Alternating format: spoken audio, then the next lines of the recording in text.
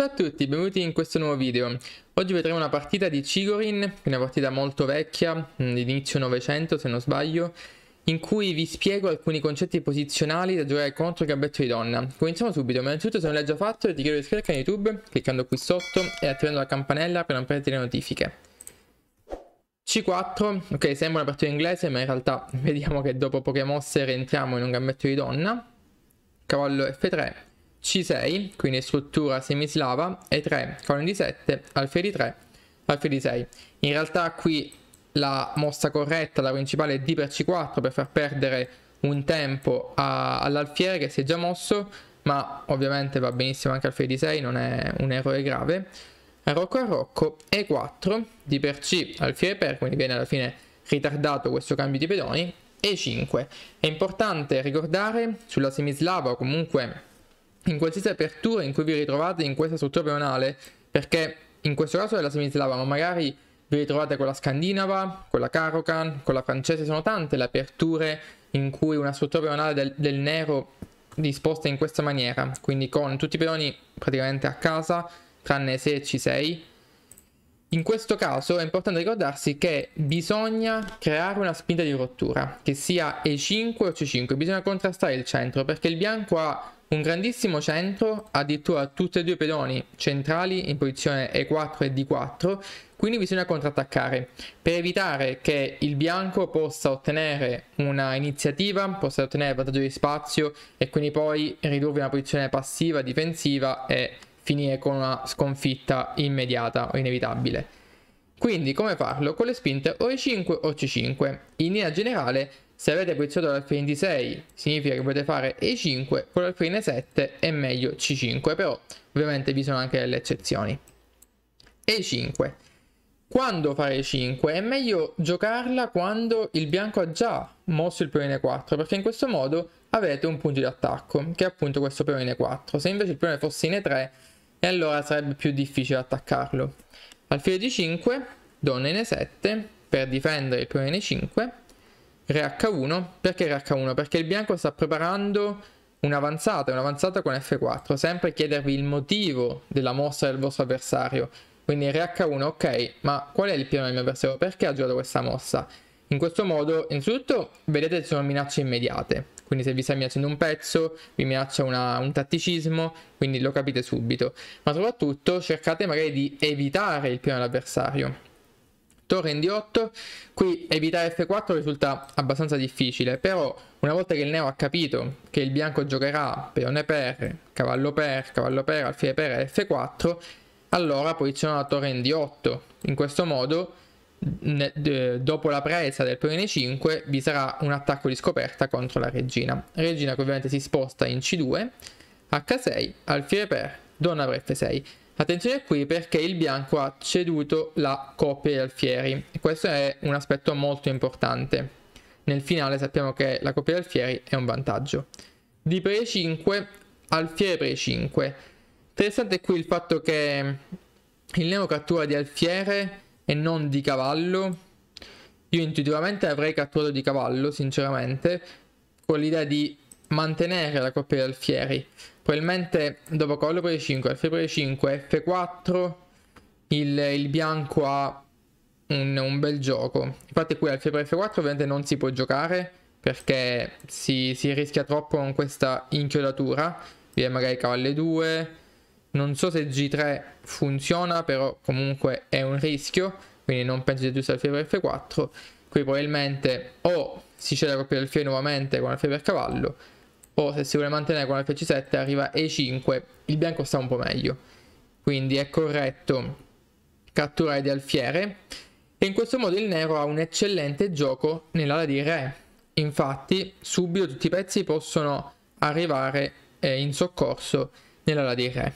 Torre in D1, torre in E8, alfiere in E2, alfiere C7, ritirata dell'alfiere. Perché? Perché si vuole lasciare una casa libera per il cavallo E5. È il cavallo che vuole andare in questa casa, è la migliore casa per il cavallo è proprio E5. Cavallo E1, cavallo E5. Perché cavallo E1? Quindi sempre chiedersi il perché delle mosse.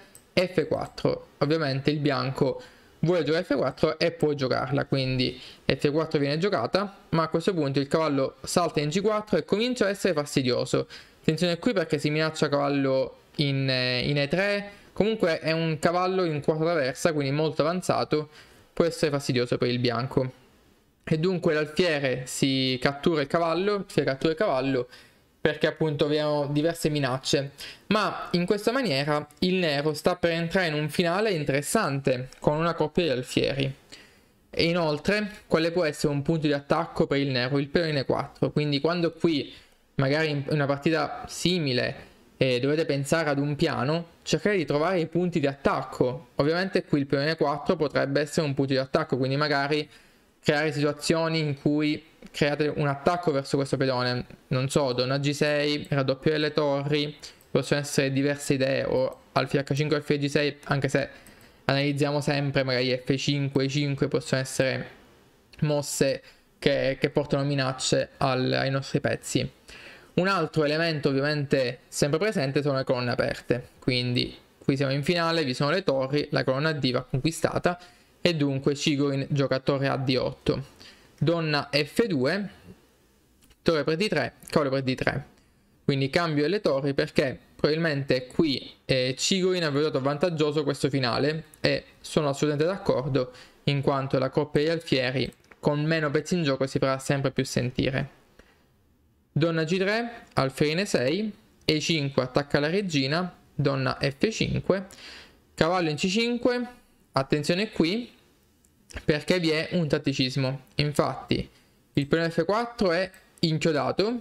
Se vi va, come sempre, mettete pausa al video e cercate voi stessi di trovare la combinazione corretta.